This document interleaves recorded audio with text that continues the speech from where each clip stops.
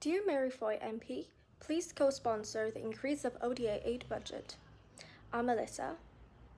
Hello, I'm Jia Wei. Hello, I'm Malika. Hi, I'm Lin.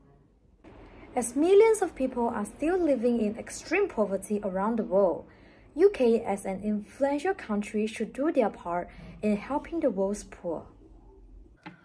However, there was a 0.5% decrease in the ODA aid budget of around £5 billion in 2020.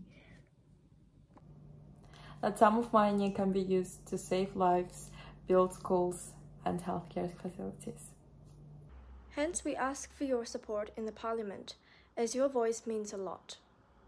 Any form of help regarding the eradication of poverty will be appreciated.